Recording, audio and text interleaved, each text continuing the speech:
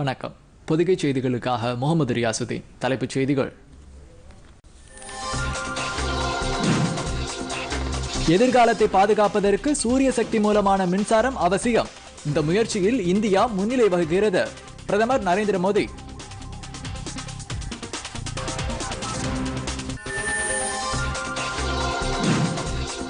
கிழக்கு லடாக் எல்லைப் பகுதியில் அமைதியை நிலைநாட்ட ஏதுவாக இந்திய சீன படைகள் முழுமையாக விலக்கிக் கொள்ளப்படும். இருதரப்பு பேச்சுவார்த்தையில் முடிவு.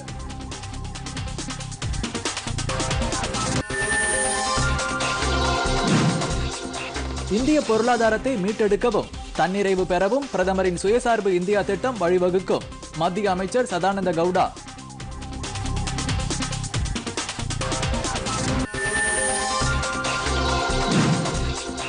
இந்தியாவில் கொரோனா தொற்றால் பாதிக்கப்பட்டோர் எண்ணிக்கை எட்டு லட்சத்து இருபத்தி ஓராயிரத்தை நெருங்கியது. இதுவரை ஐந்து லட்சத்து பதினைந்தாயிரத்து முன்னூற்று எண்பத்தி ஆறு பேர் குணமடைந்துள்ளதாக சுகாதாரத்துறை அறிவிப்பு.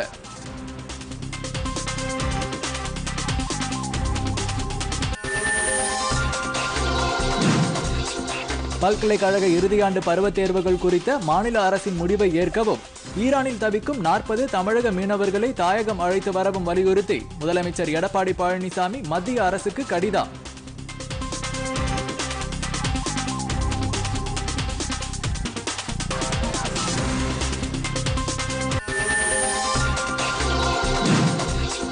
சிங்கப்பூர் நாடாளுமன்ற தேர்தல்.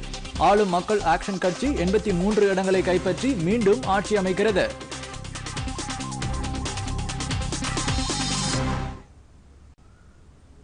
விரிவான செய்திகள். சூரிய சக்தி மூலமாக மின்சாரம் உற்பத்தி செய்வதில் உலக அளவில் இந்தியா முன்னிலை வகிப்பதாக பிரதமர் நரேந்திர மோடி பெருமிதம் தெரிவித்துள்ளார். மேலும் சூரிய சக்தி மின்சாரம் தற்காலத்திற்கு மட்டுமின்றி இருபத்தி ஓராம் நூற்றாண்டின் எரிசக்தி தேவைகளை பூர்த்தி செய்யக்கூடிய உறுதியான தூய்மையான மற்றும் பாதுகாப்பான எரிசக்தி வளமாக திகழ்கிறது என்றும் பிரதமர் குறிப்பிட்டார். மத்திய பிரதேச மாநிலம் ரேவாவில் எழுநூற்று ஐம்பது மெகாவாட் திறன் கொண்ட சூரிய மின்சக்தி திட்டத்தை பிரதமர் நரேந்திர மோடி புதுதில்லியிலிருந்து நேற்று காணொலி காட்சி மூலம் நாட்டுக்கு அர்ப்பணித்து வைத்து உரையாற்றினார். சுயசார்பு இந்த திட்டத்தில் சூரிய மின் உற்பத்தி ஒருங்கிணைந்த அங்கமாக திகழும் என்று பிரதமர் அப்போது குறிப்பிட்டார். சுயசார்பு இந்தியா திட்டத்தின் கீழ் உள்நாட்டு உற்பத்தியை ஊக்குவிக்க மத்திய அரசு பல்வேறு நடவடிக்கைகளை மேற்கொண்டு வருவதாகவும் குறிப்பாக சூரிய சக்தி மின் உற்பத்தியை அதிகரிக்க மத்திய அரசு தீவிர நடவடிக்கைகளை எடுத்து வருவதாகவும் அவர் கூறினார். தற்சார்பு மற்றும் முன்னேற்றம் பற்றி குறிப்பிடும்போது பொருளாதாரம் அதில் முக்கிய இடம்பெறுவதாக பிரதமர் குறிப்பிட்டார். அரசால் தற்போது செயல்படுத்தப்படும் அனைத்து திட்டங்களிலும் சுற்றுச்சூழல் பாதுகாப்பு மற்றும் வாழ்க்கையை எளிதாக்குவதற்கு முக்கியத்துவம் அளிக்கப்படுவதாகவும் அவர் கூறினார். புதுப்பிக்கத்தக்க எரிசக்தி திட்டங்களை மேற்கொள்ளும் வேளையில் வாழ்க்கையின் அனைத்து அம்சங்களிலும் தூய்மையான எரிசக்தியை வழங்குவதே அரசின் குறிக்கோள் என்றும் பிரதமர் தெரிவித்தார். ரேவாவில் மொத்தம் ஆயிரத்தி ஐநூறு ஹெக்டேர் பரப்பளவு கொண்ட சூரிய எரிசக்தி பூங்காவினுள் தலா ஐநூறு ஹெக்டேர் பரப்பளவில் ஒவ்வொன்றும் தலா இருநூற்று ஐம்பது மெகாவாட் உற்பத்தி திறன் கொண்ட மூன்று சூரிய சக்தி மின் உற்பத்தி நிலையங்கள் அமைக்கப்பட்டுள்ளன. மத்திய பிரதேசத்தின் உர்ஜா விகாஸ் நிகாம் லிமிடெட் மற்றும் மத்திய பொதுத்துறை நிறுவனமான solar energy corporation of India ஆகியவை இணைந்து இந்த சூரிய மின்சக்தி பூங்காவை உருவாக்கியுள்ளன. இந்திய சீன எல்லை விவகாரங்கள் தொடர்பான ஆலோசனை மற்றும் ஒருங்கிணைப்பு நடவடிக்கை குழுவின் பதினாறாவது கூட்டம் நேற்று நடைபெற்றது. இந்திய தரப்பில் வெளியுறவு அமைச்சகத்தின் கிழக்கு ஆசியாவுக்கான இணை செயலாளர் தலைமையிலான குழு பங்கேற்றது. சீன பிரதிநிதிகள் குழுவிற்கு அந்நாட்டு எல்லை மற்றும் கடல்சார் துறையின் தலைமை இயக்குனர் தலைமை வகித்தார். கடந்த மாதம் பதினேழாம் தேதி இந்திய சீன வெளியுறவு அமைச்சர்கள் நடத்திய பேச்சுவார்த்தையின் போது மேற்கொள்ளப்பட்ட ஒப்பந்தத்தை இருதரப்பும் மீண்டும் நேற்றைய பேச்சுவார்த்தையின் போது நினைவு கூர்ந்தனர். மேலும் எல்லையில் இரு நாட்டு படைகளை விலக்கிக் கொள்வது தொடர்பாக கடந்த ஐந்தாம் தேதி இரு நாடுகளின் சிறப்பு பிரதிநிதிகள் இடையேயான தொலைபேசி உரையாடலின் போது தெரிவிக்கப்பட்ட சம்மதம் குறித்தும் நேற்றைய கூட்டத்தில் விவாதிக்கப்பட்டது. அதன்படி தற்போதுள்ள இரு நாட்டு எல்லை கட்டுப்பாட்டு பகுதியில் இருதரப்பு இராணுவத்தினரை முழுமையாக விலக்கிக் கொள்வதை உறுதி செய்வது என்றும் முடிவு செய்யப்பட்டது. இதன் மூலம் இந்திய சீன எல்லையில் இருதரப்பு ஒப்பந்தங்கள் மற்றும் நடைமுறைகளின் அடிப்படையில் அமைதி மற்றும் நல்லிணக்கத்தை முழு அளவில் கடைபிடிப்பது என்றும் நேற்றைய ஆலோசனையின் போது முடிவு செய்யப்பட்டது. இரு நாடுகளுக்கும் இடையேயான ஒட்டுமொத்த நல்லுறவுகளை தொடர்ந்து பராமரித்து அமைதியை நிலைநாட்ட வேண்டியது அவசியம் என்றும் இந்த கூட்டத்தில் ஆலோசிக்கப்பட்டு அதற்கான சம்மதம் தெரிவிக்கப்பட்டது. இரு நாட்டு எல்லையின் மேற்கு பகுதியில் படைகள் திரும்பப் பெறும் நடவடிக்கைகளில் ஏற்பட்டுள்ள முன்னேற்றம் குறித்து இருதரப்பு அதிகாரிகள் விரிவாக ஆய்வு செய்தனர். ராணுவ கமாண்டர்கள் நிலையிலான பேச்சுக்களின் போது எடுக்கப்பட்ட புரிந்துணர்வுகளை உறுதியுடன் நடைமுறைப்படுத்த வேண்டியது அவசியம் எனவும் இந்த கூட்டத்தில் முடிவு செய்யப்பட்டது. மீண்டும் இரு நாட்டு சிறப்பு பிரதிநிதிகள் மற்றும் மூத்த ராணுவ அதிகாரிகள் சந்தித்து உரிய நேரத்தில் முழு அளவிலான படைகள் திரும்பப் பெறுவதை உறுதி செய்வது என்றும் முடிவு செய்யப்பட்டது.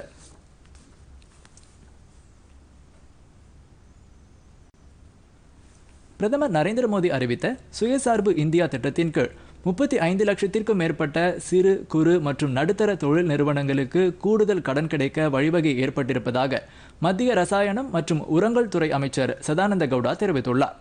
புதுதில்லியில் செய்தியாளர்களிடம் பேசிய அவர் பிரதமரின் இந்த திட்டத்தால் நாட்டின் பொருளாதாரம் உத்வேகத்தை அடையும் என்றும் பல துறைகளில் இந்தியா தன்னிறைவை அடையும் என்றும் கூறினார். கொரோனா தொற்றால் எழுந்துள்ள சவால்களை எதிர்கொண்டு அவற்றை முறியடிப்பது தொடர்பான முயற்சிகளுக்கு சுயசார்பு இந்தியா திட்டம் ஊக்கமளிக்கும் என்றும் அவர் குறிப்பிட்டார். நாடாளுமன்ற உறுப்பினர்கள் ஒவ்வொருவரும் இந்த திட்டத்தின் பலன்கள் மக்களை சென்றடைவதை உறுதி செய்யுமாறு பிரதமர் அறிவுறுத்தியுள்ளதாகவும் அமைச்சர் குறிப்பிட்டார். ஒவ்வொரு தனிநபரும் நம் நாடு தன்னிறைவை அடைவதற்காக கடுமையாக உழைக்க வேண்டும் என்றும் அவர் கேட்டுக்கொண்டார். கிராமப்புற பொருளாதாரத்தை ஊக்குவிப்பதற்காக அண்மையில் மத்திய அரசு எடுத்து வரும் முன் முயற்சிகள் குறித்து மாநில அரசுகளுடன் மத்திய வேளாண் துறை அமைச்சர் நரேந்திர சிங் தோமர் புதுதில்லியிலிருந்து காணொலி காட்சி மூலம் ஆய்வு நடத்தினார். நாடு முழுவதும் பத்தாயிரம் விவசாயிகள் உற்பத்தி அமைப்புகளை ஏற்படுத்துவதற்கான புதிய செயல்பாட்டு வழிமுறைகள் அடங்கிய புத்தகத்தையும் இந்த நிகழ்ச்சியில் அமைச்சர் வெளியிட்டார். இந்த வழிமுறைகளை நடைமுறைப்படுத்துவதில் உள்ள முக்கியமான பிரச்சனைகள் குறித்து மாநில அரசின் வேளாண் துறை அதிகாரிகளுடன் அமைச்சர் விரிவாக கேட்டறிந்தார்.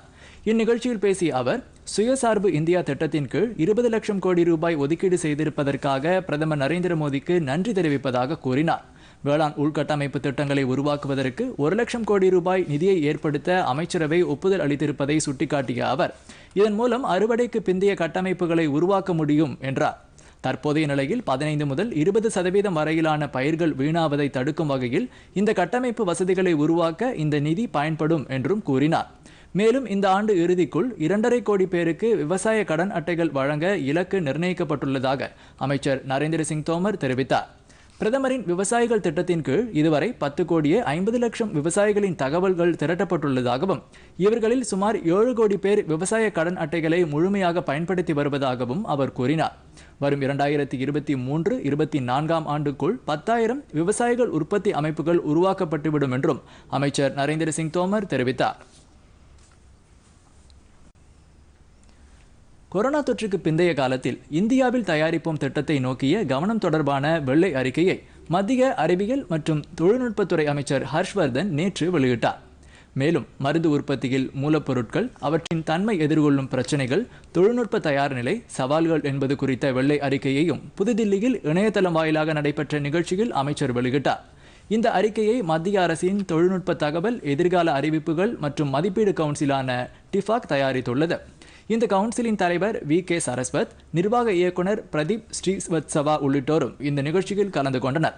உலக அளவிலான சவால்களுக்கு உள்ளூர் தீர்வுகள் என்ற தாரக மந்திரத்துடன் பொருளாதார ஊக்குவிப்பை மத்திய அரசு விரைவுபடுத்தியுள்ள தற்போதைய சூழலில் இதுபோன்ற வெள்ளை அறிக்கையை உருவாக்கியிருப்பதற்காக டிஃபாக் அமைப்பிற்கு அமைச்சர் ஹர்ஷ்வர்தன் பாராட்டு தெரிவித்தார். மரபுசாரா அடிப்படையிலான திட்டங்களின் மூலம் அரசின் பொருளாதார ஊக்குவிப்பு கொள்கைகளுக்கு வலு சேர்க்கும் வகையில் இந்த வெள்ளை அறிக்கை அமைந்துள்ளதாகவும் அமைச்சர் கூறினார். மேலும் வேளாண் துறை மின்னணு சுகாதாரம் மற்றும் உற்பத்தி துறைகளில் புதிய தொழில்நுட்பங்களை ஊக்குவிக்கக்கூடிய வகையிலும் இந்த அறிக்கை அமையும் என்றும் அமைச்சர் ஹர்ஷ்வர்தன் கூறினார்.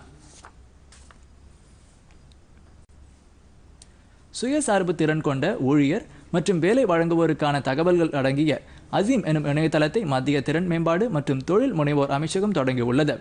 இந்த இணையதளத்தை அத்துறைக்கான மத்திய அமைச்சர் மகேந்திரநாத் பாண்டே தொடங்கி வைத்தார். இந்த இணையதளத்தில் திறமையுடைய இளைஞர்கள் மற்றும் அது போன்ற நபர்களை தெரிவு செய்யக்கூடிய நிறுவனங்கள் குறித்த தகவல்கள் இடம்பெற்றிருக்கும் என மத்திய அரசு தெரிவித்துள்ளது. மண்டல வாரியாகவும் உள்ளூர் தொழிற்சாலைகளின் தேவைக்கு ஏற்பவும் தொழிலாளர்கள் குறித்த விவரங்களும் இந்த இணையதளத்தில் இடம்பெற்றிருக்கும். இதன் மூலம் திறமை வாய்ந்த தொழிலாளர்களை கண்டறிந்து அவர்களுக்கு நிறுவனங்கள் வேலை வழங்க முடியும் என்றும் தெரிவிக்கப்பட்டுள்ளது. நாட்டின் பல்வேறு பகுதிகளிலும் அண்மையில் மின்னல் தாக்கி ஏராளமானோர் உயிரிழந்த சம்பவத்தை தொடர்ந்து மக்களுக்கான பாதுகாப்பு குறித்த தகவல்களை தேசிய பேரிடர் மேலாண்மை ஆணையம் பரிந்துரைத்துள்ளது. இதன் மூலம் மின்னல் காரணமாக ஏற்படும் உயிரிழப்புகளை தவிர்க்க முடியும் என அந்த ஆணையம் கூறியுள்ளது. அந்த ஆணையத்தின் உறுப்பினர் கமல் கிஷோர் செய்தியாளர்களிடம் கூறுகையில் மின்னல் ஏற்பட்டால் மக்கள் மரங்களுக்கு கீழேயோ அல்லது அருகிலோ தஞ்சமடையக்கூடாது என்று கூறினார். அதுபோன்ற நேரங்களில் வீடுகளுக்குள்ளோ உறுதியான கட்டிடங்களுக்குள்ளோ மக்கள் தங்கியிருக்க வேண்டும் என்று அவர் கூறினார். தகரம் அல்லது உலோகத்தால் ஆன கூரை உள்ள பகுதிகளில் மின்னல் ஏற்படும் சமயத்தில் தஞ்சம் அடையக்கூடாது என்றும் தெரிவித்த அவர் வெட்டவெளியில் இருப்பதையும் மக்கள் தவிர்க்க வேண்டும் என்றும் அவர் அறிவுறுத்தியுள்ளார்.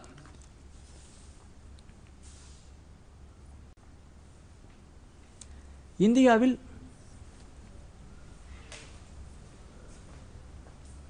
கொரோனா இறப்பு விகிதம் இரண்டு புள்ளி ஏழு இரண்டாக குறைவு.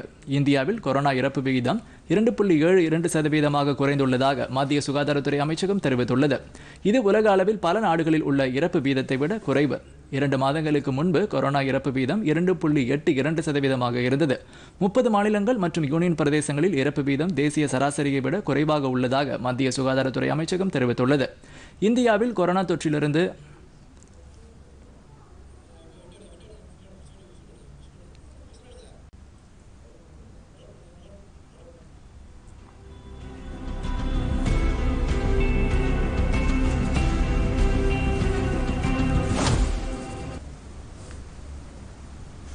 நாட்டில் அதிகபட்சமாக மகாராஷ்டிரா மாநிலத்தில் இரண்டு லட்சத்து முப்பத்தி எட்டாயிரத்து நானூற்று அறுபத்தி ஒரு பேர் பாதிக்கப்பட்டு ஒன்பதாயிரத்து எண்ணூற்று தொன்னூற்று மூன்று பேர் உயிரிழந்துள்ளனர். ஒரு லட்சத்து முப்பத்தி இரண்டாயிரத்து அறுநூற்று இருபத்தி ஐந்து பேர் குணமடைந்துள்ளனர். தலைநகர் தில்லியில் ஒரு லட்சத்து ஒன்பதாயிரத்து நூற்று நாற்பது பேர் பாதிக்கப்பட்டு மூன்றாயிரத்து முன்னூறு பேர் உயிரிழந்துள்ளனர். எண்பத்தி நான்காயிரத்து அறுநூற்று தொன்னூற்று நான்கு பேர் குணமடைந்துள்ளனர். குஜராத்தில் நாற்பதாயிரத்து அறுபத்து ஒன்பது பேர் பாதிக்கப்பட்டு இரண்டாயிரத்து இருபத்தி இரண்டு பேர் உயிரிழந்துள்ளனர். இருபத்தி எட்டாயிரத்து நூற்று நாற்பத்தி ஏழு பேர் குணமடைந்துள்ளனர். உத்தரப்பிரதேசத்தில் முப்பத்தி இரண்டாயிரத்து எழுநூறு பேர் பாதிக்கப்பட்டு எண்ணூற்று எண்பத்து ஒன்பது பேர் உயிரிழந்துள்ளனர். இருபத்தி ஓராயிரத்து எழுநூற்று எண்பத்தி ஏழு பேர் குணமடைந்துள்ளனர். கர்நாடகாவில் முப்பத்தி மூன்றாயிரத்து நானூற்று பதினெட்டு பேர் பாதிக்கப்பட்டு ஐநூற்று நாற்பத்தி மூன்று பேர் உயிரிழந்துள்ளனர். பதிமூன்றாயிரத்து எண்ணூற்று முப்பத்தி ஆறு பேர் குணமடைந்துள்ளனர். மேற்கு வங்கத்தில் இருபத்தி ஏழாயிரத்து நூற்று ஒன்பது பேர் பாதிக்கப்பட்டு எண்ணூற்று எண்பது பேர் உயிரிழந்துள்ளனர். பதினேழாயிரத்து முன்னூற்று நாற்பத்தி எட்டு பேர் குணமடைந்துள்ளனர். தமிழகத்தில் நேற்று புதிதாக மூன்றாயிரத்து அறுநூற்று எண்பது பேருக்கு கொரோனா தொற்று உறுதி செய்யப்பட்டுள்ளது. இதில் சென்னையில் ஆயிரத்தி இருநூற்றி ஐந்து பேருக்கும் எஞ்சிய மாவட்டங்களில் இரண்டாயிரத்து நானூற்றி எழுபத்தி ஐந்து பேருக்கும் பாதிப்பு ஏற்பட்டுள்ளது. இதன் மூலம் மாநிலம் முழுவதும் இந்நோய் தொற்றால் பாதிக்கப்பட்டோரின் மொத்த எண்ணிக்கை ஒரு லட்சத்து முப்பதாயிரத்து இருநூற்று அறுபத்தி ஒன்றாக அதிகரித்துள்ளது. இதுவரை நோய் தொற்று ஏற்பட்டவர்களில் நேற்று மட்டும் நான்காயிரத்து நூற்றி அறுபத்தி மூன்று பேர் சிகிச்சை முடிந்து வீடு திரும்பியுள்ளனர். அறுபத்தி நான்கு பேர் உயிரிழந்துள்ளனர். நேற்று ஒரே நாளில் முப்பத்தி ஏழாயிரத்து தொன்னூற்று ஒன்பது பேருக்கு கொரோனா பரிசோதனை மேற்கொள்ளப்பட்டுள்ளதாக மாநில சுகாதாரத்துறை தெரிவித்துள்ளது. இதுவரை மொத்தம் எண்பத்தி இரண்டாயிரத்து முன்னூற்று இருபத்தி நான்கு பேர் சிகிச்சை முடிந்து வீடு திரும்பியுள்ளனர். நாட்டின் பல்வேறு பகுதிகளிலும் கிரையோ பேங்க்ஸ் எனப்படும் மீன்வள பண்ணைகள் அதிக அளவில் ஏற்படுத்தப்படும் என்று மத்திய மீன்வளம் கால்நடை பராமரிப்பு மற்றும் பால்வளத்துறை அமைச்சர் கிரிராஜ் சிங் தெரிவித்துள்ளார். தேசிய மீன் விவசாயிகள் தினத்தையொட்டி நேற்று புதுதில்லியில் உலகிலேயே முதல் மீன் உற்பத்தி பண்ணையை தொடங்கி வைத்து பேசினார். இது போன்ற பண்ணைகள் அதிக அளவில் ஏற்படுத்தப்படுவதன் மூலம் விதவிதமான மீன் வகைகள் விவசாயிகளுக்கு எல்லா நேரங்களிலும் கிடைப்பது உறுதி செய்யப்படும் என்று அவர் கூறினார். மீன்வளத்துறையில் புரட்சிகரமான மாற்றத்தை இது போன்ற பண்ணைகள் உருவாக்குவதுடன் மீன் உற்பத்தியை மேம்படுத்தவும் வழிவகுக்கும் என்றும் அமைச்சர் கூறினார். தேசிய மீன்வள மேம்பாட்டு வாரியமும் தேசிய மீன் மரபியல் ஆதார அமைப்பும் இணைந்து இந்த மீன் கிரையோ பேங்க்ஸ் திட்டத்தை உருவாக்கியுள்ளன. குறுகிய கால கொரோனா தொற்று சுகாதார காப்பீட்டு பாலிசிகளை வழங்குவதற்கு இந்திய காப்பீட்டு ஒழுங்குமுறை ஆணையமான ஐஆர்டிஏஐ அனுமதி வழங்கியுள்ளது. கொரோனா தொற்றால் பாதிக்கப்பட்டு சிகிச்சை பெறும் நோயாளிகளின் மருத்துவ செலவை இந்த பாலிசிகள் ஏற்கும் வகையில் உருவாக்கப்பட்டுள்ளன. குறிப்பிட்ட கொரோனா நோய் தொடர்பான அடிப்படை காப்பீட்டு பாலிசியாக இந்த காப்பீடு உருவாக்கப்பட்டுள்ளதாக ஐஆர்டிஏஐ தெரிவித்துள்ளது. ஐம்பது ஆயிரம் ரூபாய் முதல் ஐந்து லட்சம் ரூபாய் வரை காப்பீடு உத்தரவாத தொகை இருக்கும் என்றும் பதினெட்டு வயது முதல் அறுபத்தி ஐந்து வயது வரையிலானவர்கள் இந்த காப்பீட்டு பாலிசிகளை பெற முடியும் என்றும் தெரிவிக்கப்பட்டுள்ளது.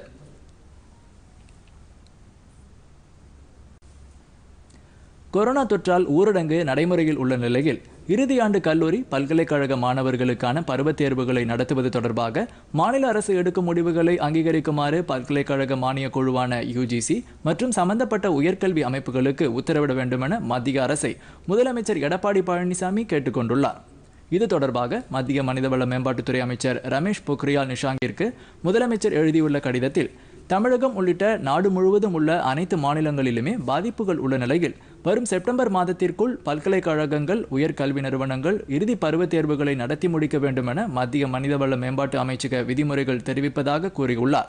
தற்போதைய சூழ்நிலையில் தமிழகத்தை பொறுத்தவரை மாணவர்கள் தங்களின் கல்வி நிறுவனங்களை விட்டு வேறு மாவட்டங்களில் இருப்பதால் தேர்வு மையத்திற்கு வர இயலாத சூழல் உள்ளதாகவும் பல கல்வி நிறுவனங்கள் தொற்று அறிகுறி இல்லாத நோயாளிகளுக்கான தனிமைப்படுத்தும் மையங்களாக மாற்றப்பட்டுள்ளதாகவும் அவர் தமது கடிதத்தில் கூறியுள்ளார். இதன் காரணமாக அடுத்த சில மாதங்களுக்குள் பல்கலைக்கழகங்கள் மற்றும் உயர்கல்வி நிறுவனங்களின் இறுதி ஆண்டு பருவத் தேர்வுகளை மாநில அரசால் நடத்த இயலாத நிலை உள்ளதையும் முதலமைச்சர் சுட்டிக்காட்டியுள்ளார். தவிர பல இறுதியாண்டு மாணவர்கள் வளாக நேர்காணல் மூலம் தேர்வு செய்யப்பட்டு வெளிநாடுகளில் கல்வி பயிலுவதற்கு விண்ணப்பித்துள்ள நிலையில் வரும் அக்டோபர் மாதத்திற்குள் அந்த படிப்புகளில் சேர வேண்டிய நிலையில் சர்வதேச விமான போக்குவரத்து தடை இருப்பதாக முதலமைச்சர் அதில் கூறியுள்ளார். இதன் காரணமாக பல மாநிலங்கள் இறுதி பருவ தேர்வுகளை நடத்தப் போவதில்லை என முடிவு செய்திருப்பதை சுட்டிக்காட்டியுள்ள அவர் மாணவர்களின் எதிர்கால வாய்ப்புகளை கருத்தில் கொண்டும் அவர்களின் உடல்நலம் பாதுகாப்பு சம வாய்ப்பு போன்றவற்றை கருத்தில் கொண்டும் மாநில அரசுகளே தேர்வின் தரம் மற்றும் கல்வியின் நம்பகத்தன்மையை விட்டுக் கொடுக்காமல் மதிப்பீடு செய்வதற்கு சுதந்திரம் அளிக்க வேண்டும் என்று கேட்டுக்கொண்டுள்ளார் இத்தகைய சூழலில் யுஜிசி அகில இந்திய தொழில்நுட்ப கல்வி கவுன்சில் கட்டிடக்கலை கவுன்சில் தேசிய ஆசிரியர்கள் கல்வி கவுன்சில் உள்ளிட்ட உயர்கல்வி அமைப்புகளுக்கு இறுதி பருவ தேர்வு தொடர்பாக மாநில அரசுகள் எடுக்கும் முடிவுகளை ஏற்றுக்கொள்ளுமாறு மத்திய அரசு அறிவுறுத்த வேண்டும் என்றும் முதலமைச்சர் தமது கடிதத்தில் கேட்டுக்கொண்டுள்ளார். இதன் மூலம் நெருக்கடியான இந்த தருணத்தில் மாணவர்களுக்கும் பெற்றோர்களுக்கும் நீண்டகால அடிப்படையில் நீதி கிடைக்கும் என்றும் முதலமைச்சர் எடப்பாடி பழனிசாமி அதில் கூறியுள்ளார்.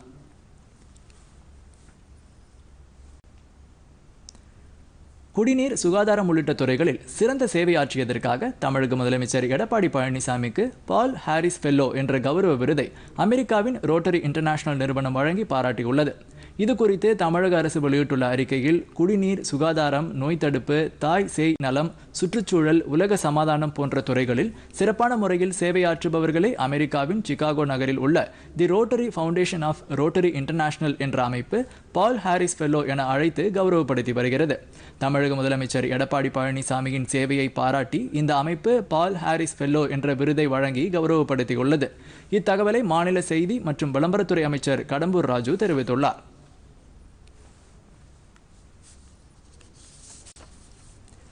ஈரானில் சிக்கி தவிக்கும் மேலும் நாற்பது தமிழக மீனவர்களை சிறப்பு விமானம் மூலம் தாயகம் அழைத்து வர மத்திய அரசு ஏற்பாடு செய்ய வேண்டும் என மத்திய வெளியுறவுத்துறை அமைச்சர் ஜெய்சங்கரை முதலமைச்சர் எடப்பாடி பழனிசாமி கேட்டுக்கொண்டுள்ளார் இது தொடர்பாக மத்திய அமைச்சருக்கு முதலமைச்சர் எழுதியுள்ள கடிதத்தில் தமிழகத்தைச் சேர்ந்த மீனவர்கள் ஈரானில் சிக்கி தவிப்பதாகவும் அவர்களை தாயகம் அழைத்து வர வேண்டும் என கோரி தாம் கடந்த மே மாதம் பத்தொன்பதாம் தேதி ஏற்கனவே கடிதம் எழுதியிருந்ததாகவும் குறிப்பிட்டுள்ளார். அதன் அடிப்படையில் ஐஎன்எஸ் ஜலஸ்வா கப்பல் மூலம் ஈரானில் தவித்த அறுநூற்றி எண்பத்தி ஒரு தமிழக மீனவர்கள் பாதுகாப்புடன் தாயகம் அழைத்து வரப்பட்டதற்கு நன்றி தெரிவித்துக் கொள்வதாகவும் முதலமைச்சர் அதில் கூறியுள்ளார். இந்த மீட்பின் போது கப்பலில் இடப்பற்றாக்குறையால் நாற்பது மீனவர்கள் ஈரானிலேயே தங்கிவிட்டதாகவும் அவர்களையும் தமிழகத்திற்கு அழைத்து வர மத்திய அரசு தேவையான ஏற்பாடுகளை செய்ய வேண்டும் என்றும் முதலமைச்சர் அந்த கடிதத்தில் வலியுறுத்தியுள்ளார்.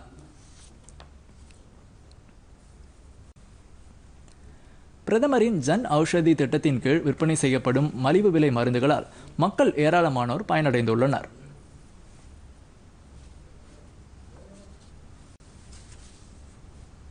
பிரதமரின் ஜன் ஔஷதி திட்டத்தின் கீழ் நாட்டில் உள்ள அனைத்து மாவட்டங்களிலும் ஜன் ஔஷதி கேந்திரா என்ற மலிவு விலை மருந்தகங்கள் ஏற்படுத்தப்பட்டுள்ளன. இங்கு மக்களுக்கு குறைந்த விலையில் பல்வேறு அத்தியாவசிய மருந்துகள் விற்பனை செய்யப்படுகின்றன. கோவை மாவட்டத்தில் இத்திட்டம் சிறப்பாக செயல்பட்டு வருகிறது. சித்தாபுதூர் கவுண்டம்பாளையம் சிங்காநல்லூர் உள்ளிட்ட பல்வேறு இடங்களில் இருபத்தி இரண்டு மருந்தகங்கள் ஏற்படுத்தப்பட்டுள்ளன. இங்கு வரும் வாடிக்கையாளர்களுக்கு அறுபது முதல் எழுபது சதவீதம் அளவில் குறைந்த விலையில் மருந்துகள் விற்கப்படுவதாக மருந்து ஆளுநர் பிரவீன்ராஜ் தெரிவித்துள்ளார். நான் பிஃபார்ம் முடிச்சு இது ஒரு நல்ல வேலை வாய்ப்பாக அமைஞ்சிருக்கு இங்கே மற்ற கடையை விட சிக்ஸ்டி டு செவன்ட்டி பர்சன்ட் டிஸ்கவுண்ட்டில் கிடைக்கும். மற்ற எல்லா மருந்துகளும் இங்கே கிடைக்குது. இங்கே ஒரு நாளைக்கு ஒரு ஐம்பதுலேருந்து ஃபிஃப்டி டு செவன்ட்டி பீப்புள் வந்துட்டு போகிறாங்க மக்கள் வந்து எல்லாமே நல்லா இந்த திட்டத்துக்காக நல்லா பாராட்டிட்டு போகிறாங்க கடையில் மெயினாக சுகர் மாத்திரை insulin pressure high pressure tablets அதுக்கப்புறம் நர்வ் சம்மந்தப்பட்ட எல்லா டேப்லெட்ஸும் இப்போ அவைலபிலிட்டி கிடைக்க ஆரம்பிச்சிருச்சு. நீரிழிவு இதய நோய் உள்ளிட்ட பல்வேறு நோய்களுக்கான மருந்துகள் இங்கு குறைந்த விலையில் விற்கப்படுவதால் இத்திட்டம் மக்களிடையே மிகுந்த வரவேற்பை பெற்றுள்ளது. சேரநகரைச் சேர்ந்த பிச்சுமணி என்பவர் கூறுகையில் நீரிழிவு மற்றும் இதய நோய்களுக்கான மருந்துகளை இங்கு குறைந்த விலையில் வாங்கிச் செல்கிறேன். இத்திட்டம் மிகவும் பயனுள்ளதாக உள்ளது என்று கூறினார். இங்கே வந்து வாங்குறதுனால எனக்கு மெடிசனுடைய விலை கொஞ்சம் கம்மியாக இருக்கிறதுனால கொஞ்சம் பெனிஃபிட்டாக இருக்குது இல்லாட்டி மாதத்துக்கு அதிகமாக செல்ல வேண்டியது இருக்குது இன்சுலின் போடுறேன். ஹார்ட் ப்ராப்ளத்துக்கும் மாத்திரை வாங்குறேன். அது அதனால எனக்கு யூஸாக இருக்குது பெரியநாயக்கன் பாளையத்தைச் சேர்ந்த கிருஷ்ணசாமி கூறுகையில் ஐம்பது சதவீதம் வரை மருந்துகளின் விலை குறைவாக உள்ளது. எல்லா நேரங்களிலும் மருந்து கிடைக்கிறது என்றார். மெடிசன் வெளியே வாங்குறத விட இங்கே நாற்பது ஐம்பது பர்சன்ட் கம்மியாக இருக்கிறதுனால எல்லா இப்போ கொரோனா பீரியடில் எல் எந்த எப்போ எப்போ வந்தாலும் இங்கே நல்லா மெடிசன் அவைலபிள் கிடைக்குது. கவுண்டம்பாளையத்தைச் சேர்ந்த சகாதேவன் கூறுகையில் கடந்த இருபது வருடங்களாக நீரிழிவு நோயினால் பாதிக்கப்பட்டுள்ளேன். பிற மருந்தகங்களில் விலை அதிகமாக உள்ளது. பிரதமரின் மலிவு விலை மருந்தகத்தில் எண்பது சதவீதம் அளவுக்கு விலை குறைவாக உள்ளது என்றார். இப்போ இருபது வருஷமாக எனக்கு சுகர் இருந்துகிட்டு இருக்கு இருபது வருஷமாக கிட்டத்தட்ட வெளியே தான் மாத்திரை வாங்கிட்டு இருந்தேன். காஸ்ட்லியாக இருந்தது. ஆனால் இப்போ நம்ம அந்த பிரதமர் இதில் இருந்து இந்த ஸ்கீமில் இந்த மெடிக்கல் திறந்திருக்கனால அதை விட எண்பது பர்சன்ட் கம்மியாகுது. நல்லாவும் இருக்குது. இந்த கொரோனா நேரத்துலையும் எந்த தட்டுப்பாடும் இல்லாமல் கொடுத்துக்கிட்டு இருக்கிறாங்க. இந்திய அந்நிய செலாவணி கையிருப்பு இதுவரை இல்லாத அளவுக்கு ஐநூற்று பதிமூன்று புள்ளி இரண்டு ஐந்து பில்லியன் டாலராக அதிகரித்துள்ளது. இந்திய அந்நிய செலாவணி கையிருப்பு ஆறு புள்ளி நான்கு ஏழு பில்லியன் டாலர் அதிகரித்து இதுவரை இல்லாத அளவுக்கு ஐநூற்று பதிமூன்று புள்ளி இரண்டு ஐந்து பில்லியன் டாலரை எட்டியுள்ளது. ஒட்டுமொத்த கையிருப்பில் அந்நிய செலாவணி முக்கிய பங்கு வகிக்கிறது. இது ஐந்து புள்ளி ஆறு ஆறு பில்லியன் டாலர் அதிகரித்து நானூற்று எழுபத்தி மூன்று புள்ளி இரண்டு ஆறு பில்லியன் டாலரை எட்டியுள்ளது. கடந்த வாரத்தில் அந்நிய செலாவணி கையிருப்பு ஒன்று புள்ளி இரண்டு ஏழு பில்லியன் டாலர் அதிகரித்து ஐநூற்று ஆறு புள்ளி எட்டு நான்கு பில்லியன் டாலரை எட்டியது. கடந்த ஜூன் மாதம் முதல் வாரத்தில் முதல் முறையாக அந்நிய செலாவணி கையிருப்பு அரை ட்ரில்லியன் டாலரை கடந்தது. தங்கத்தின் கையிருப்பும் நானூற்று தொன்னூற்று ஐந்து மில்லியன் டாலர் அதிகரித்து முப்பத்தி நான்கு புள்ளி பூஜ்ஜியம் இரண்டு பில்லியன் டாலரை எட்டியது. சர்வதேச அளவில் இருநூறுக்கும் மேற்பட்ட நாடுகளில் பரவியுள்ள கொரோனா தொற்றால் இதுவரை ஒரு கோடியே இருபத்தி ஆறு லட்சத்து முப்பதாயிரத்து எண்ணூற்று எழுபத்தி இரண்டு பேர் பாதிக்கப்பட்டுள்ளனர். இதில் ஐந்து லட்சத்து அறுபத்தி இரண்டாயிரத்து எண்ணூற்று எண்பத்தி எட்டு பேர் உயிரிழந்துள்ளனர். எழுபத்தி மூன்று லட்சத்து அறுபத்தி ஆறாயிரத்து நானூற்று எண்பத்தி எட்டு பேர் குணமடைந்துள்ளனர்.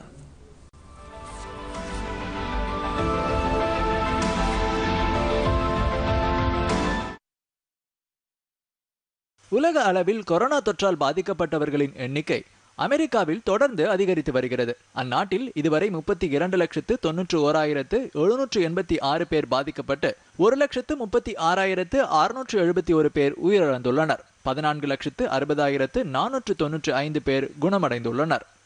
பிரேசிலில் பாதிப்பு எண்ணிக்கை பதினெட்டு லட்சத்து நான்காயிரத்து முன்னூற்று முப்பத்தி எட்டாக உள்ளது. இதுவரை எழுபதாயிரத்து ஐநூற்று இருபத்தி நான்கு பேர் உயிரிழந்துள்ள நிலையில் குணமடைந்தவர்களின் எண்ணிக்கை பனிரெண்டு லட்சத்து பதிமூன்றாயிரத்து ஐநூற்று பனிரெண்டாக உள்ளது. ரஷ்யாவில் பாதிப்பு எண்ணிக்கை ஏழு லட்சத்து பதிமூன்றாயிரத்து தொள்ளாயிரத்து முப்பத்தி ஆறாக அதிகரித்துள்ளது. இதுவரை பதினோராயிரத்து பதினேழு பேர் உயிரிழந்துள்ளனர். குணமடைந்தவர்களின் எண்ணிக்கை நான்கு லட்சத்து எண்பத்தி ஓராயிரத்து அறுபத்தி எட்டாக உயர்ந்துள்ளது.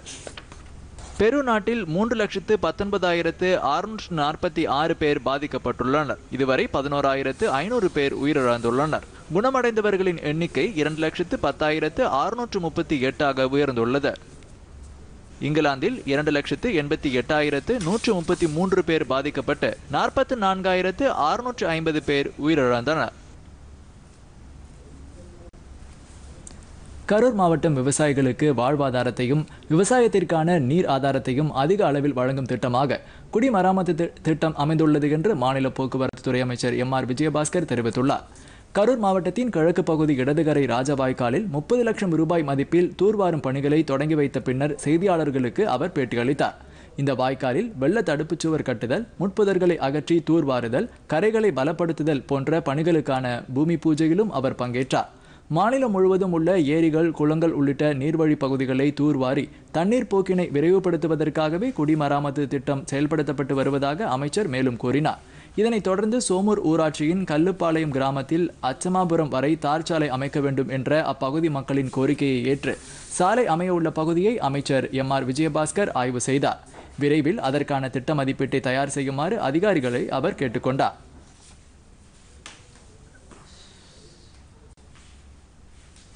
நாட்டின் வளர்ச்சிக்கு ரிசர்வ் வங்கி அதிக முன்னுரிமை அளிக்கும் என்றும் நிதி ஸ்திரத்தன்மையானது சம அளவு முக்கியத்துவம் வாய்ந்தது என்றும் ஆர்பிஐ ஆளுநர் சந்திரகாந்த தாஸ் தெரிவித்துள்ளார்.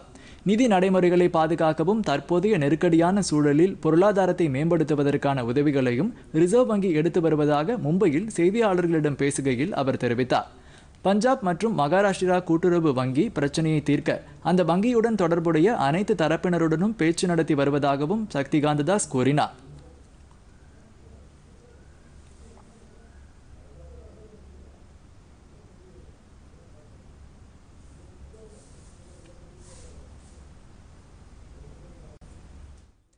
தமிழகத்தில் அரசு பள்ளி மாணவர்களுக்கு பொதிகை தொலைக்காட்சி உட்பட எட்டு தொலைக்காட்சிகளின் மூலமாக பாடங்கள் நடத்தப்படும் என்று மாநில பள்ளிக் கல்வித்துறை அமைச்சர் கே ஏ செங்கோட்டையன் தெரிவித்துள்ளார்.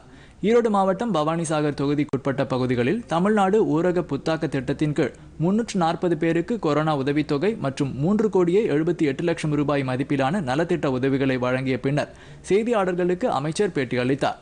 பொதிகை தொலைக்காட்சி மற்றும் பல்வேறு தனியார் தொலைக்காட்சிகளின் மூலம் அரசு பள்ளி மாணவர்களுக்கு பாடங்கள் நடத்துவதற்கான தீவிர நடவடிக்கைகளை மாநில அரசு எடுத்து வருவதாக அவர் கூறினார். நீட் தேர்விலிருந்து விலக்கு அளிக்க வேண்டும் என்பதுதான் அரசின் நிலைப்பாடு என்று கூறிய அவர் பிரதமருடனான ஆலோசனையின் போது முதலமைச்சர் இந்த கோரிக்கையை வைத்துள்ளதாக குறிப்பிட்டார். இந்தியாவிலேயே தமிழகத்தில்தான் அரசு பள்ளி மாணவர்களுக்கு நீட் தேர்வுக்கான பயிற்சி வழங்கப்பட்டு வருவதாக தெரிவித்த அவர் வரும் கல்வியாண்டில் பாடத்திட்டத்தை குறைப்பது குறித்து ஆய்வு செய்ய பதினெட்டு பேர் கொண்ட குழு அமைக்கப்பட்டுள்ளதாக கூறினார்.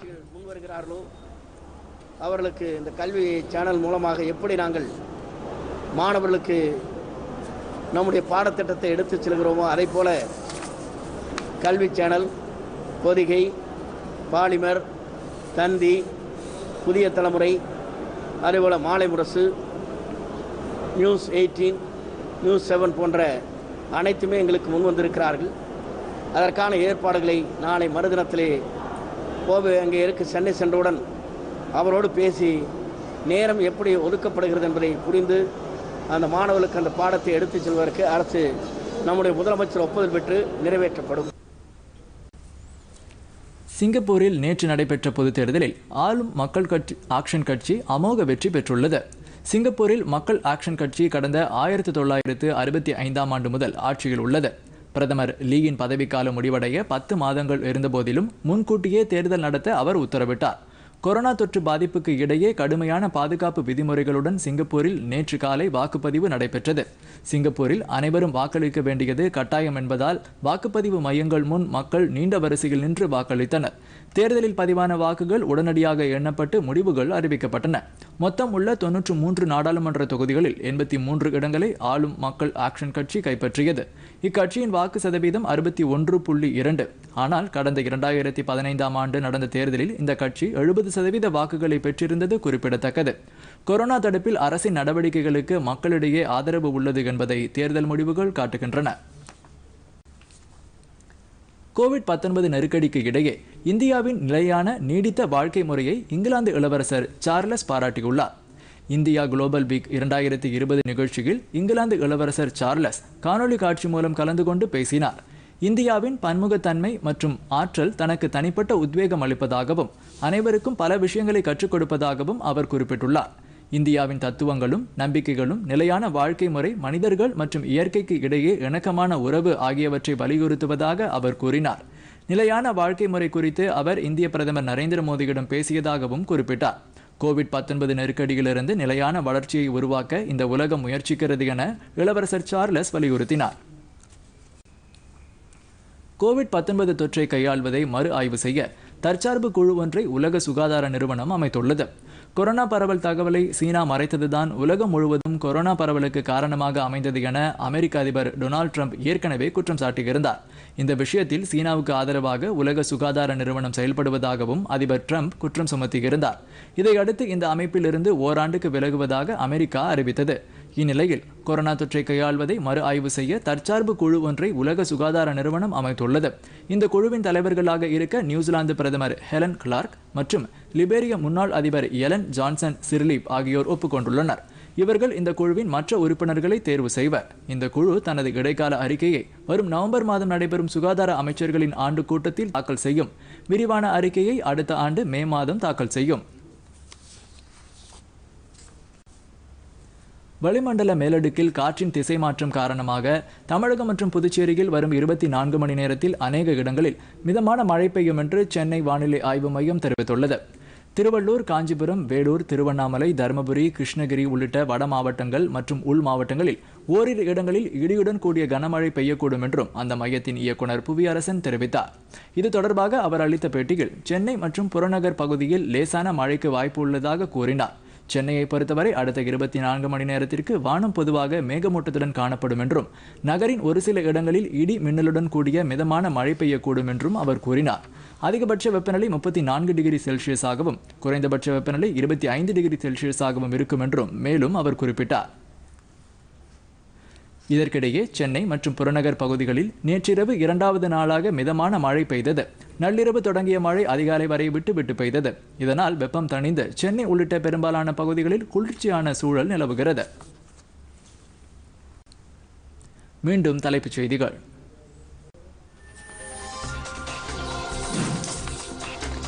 எதிர்காலத்தை பாதுகாப்பதற்கு சூரிய சக்தி மூலமான மின்சாரம் அவசியம்.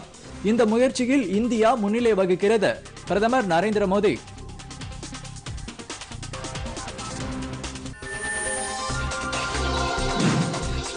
கிழக்கு லடாக் எல்லைப் பகுதியில் அமைதியை நிலைநாட்ட ஏதுவாக இந்திய சீன படைகள் முழுமையாக விலக்கிக் கொள்ளப்படும்.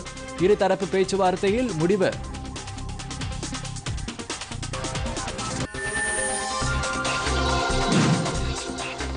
இந்திய பொருளாதாரத்தை மீட்டெடுக்கவும் தன்னிறைவு பெறவும் பிரதமரின் சுயசார்பு இந்தியா திட்டம் வழிவகுக்கும். மத்திய அமைச்சர் சதானந்த கவுடா.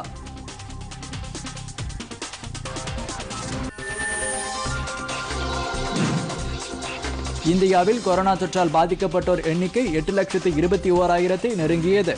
இதுவரை ஐந்து லட்சத்து பதினைந்தாயிரத்து முன்னூற்று எண்பத்தி ஆறு பேர் குணமடைந்துள்ளதாக சுகாதாரத்துறை அறிவிப்பு.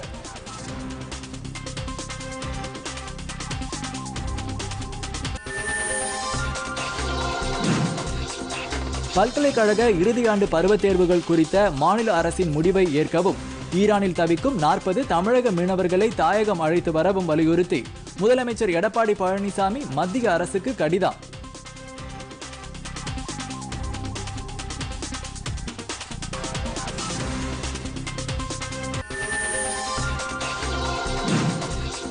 சிங்கப்பூர் நாடாளுமன்ற தேர்தல். ஆளும் மக்கள் ஆக்ஷன் கட்சி எண்பத்தி மூன்று இடங்களை கைப்பற்றி மீண்டும் ஆட்சி அமைக்கிறது.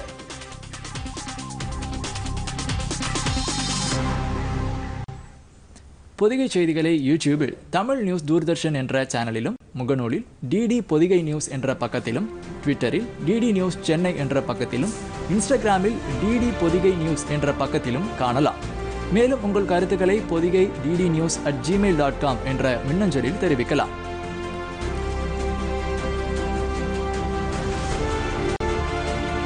இத்துடன் இந்த செய்தி அறிக்கை நிறைவு பெற்றது. மீண்டும் செய்திகள் பிற்பகல் இரண்டு மணிக்கு. வணக்கம்.